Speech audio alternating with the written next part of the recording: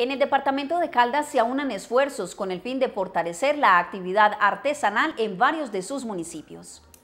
Con estas acciones se busca consolidar procesos de mejoramiento, aplicar nuevas oportunidades de desarrollo de materias primas y generar nuevas oportunidades comerciales que permitan aumentar los ingresos de los artesanos. Venimos haciendo un trabajo muy importante con Artesanías de Colombia, con Actuar,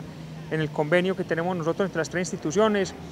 y ese convenio lo que nos ha ayudado es a mejorar algunos procesos de los artesanos, a que mejoren sus tiempos de producción, a que mejoren un poco su técnica en, los tintes, eh, su técnica en el lavado de algunos eh, materiales y es lo que rescatamos hoy.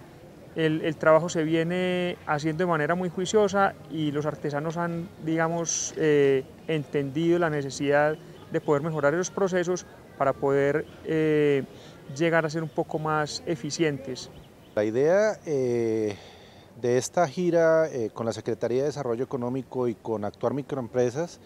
es eh, evaluar de primera mano los resultados del convenio que se firmaron entre las entidades, además de, de conocer em, las diferentes inquietudes que tienen nuestros artesanos para futuros proyectos con, con el departamento. Esta gira comprendió la visita al semillero de niños artesanos en el municipio de Aguadas. Son 25 niños que han estado cada 15 días viniendo aquí a la Casa Museo como una labor que hace la Corporación de Tejedoras para dejar un legado importante en nuestro municipio. Ellos lograron ver eh,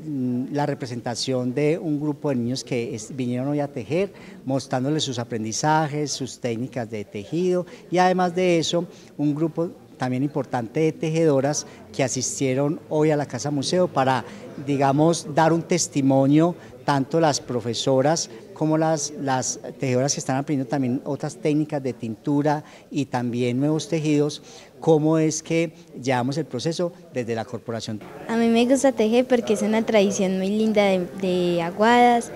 porque uno así tiene para vivir y pues porque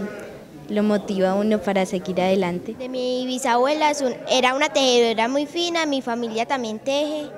y me gusta porque creo que es una tradición muy bonita y aguadas. Con el desarrollo de este proyecto se busca atender a un total de 210 artesanos del departamento en los municipios de Marulanda, Aguadas, Salamina, Pensilvania y Río Sucio.